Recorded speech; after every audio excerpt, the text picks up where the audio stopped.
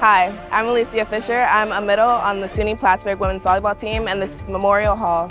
Here we have our practices and games and other cool spots. Come, let me take you on a tour. This is our newly renovated lobby and the entrance to the main gym where basketball games and volleyball games are held.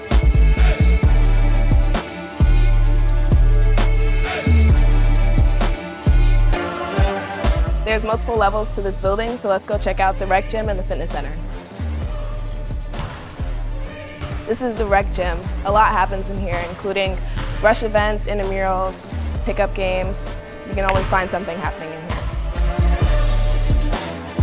Our fitness center consists of a cardio room, weightlifting room, and we also have spaces for shower and changing. And we are soon to have an athlete-only weightlifting room. Thanks for joining me on this quick tour. We hope to see you soon in Cardinal Country.